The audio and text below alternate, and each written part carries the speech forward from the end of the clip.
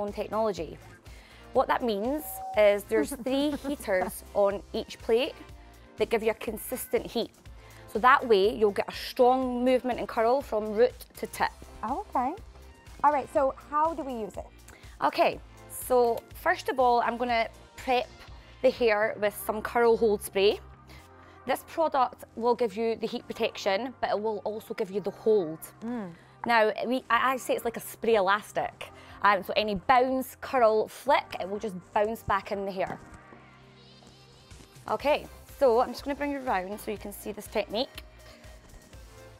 So taking a big section here, you know, you can take big sections with this because of the tri-zone technology.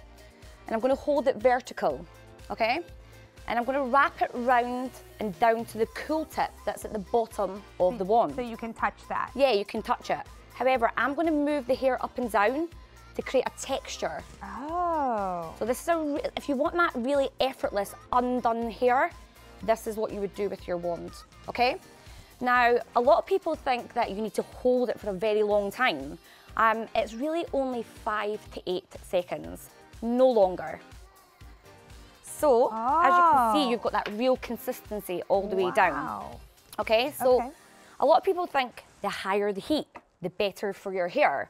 Um, that's absolutely not the case. Um, us at GHD, we have work, we work with over like 60 scientists whose main job is to control hair through the heat and the right heat. Okay, so